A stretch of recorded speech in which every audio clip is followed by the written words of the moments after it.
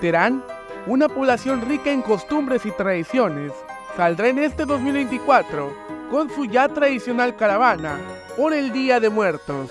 Es una caravana de mucha tradición, eh, ya que nosotros aquí en el pueblo Terán somos gente de pueblo, somos gente realmente de cultura, de tradiciones, de unión y más que nada somos gente fiestera. Así que realmente nosotros lo que queremos es recuperar nuestras tradiciones, como dice el eslogan ahí, es recuperando nuestras tradiciones de antaño. Esta tradición nació de las familias promotoras, de las costumbres originarias de Terán, y con el paso de los años, han incrementado la cantidad de personas que los acompañan. En este año, se esperan miles. Transmitir y darle el mensaje a los niños y a las niñas que no mueran estas tradiciones de pedir el calabacito aquí.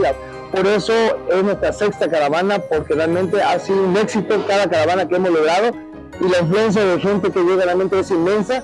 Invitaron a la ciudadanía para que asista a este evento que en su sexta edición se espera mayor afluencia a la de los años pasados. Esta eh, sexta caravana que va a ser el día primero de noviembre a las 7 de la noche. Están convocados todos. El punto de reunión es en el mercado de Terán, la Santa Cruz, que es rumbo al Campese, que la mayoría lo conoce. Con imágenes de Christopher Canter, para Alerta Chiapas, Eric Chandomí.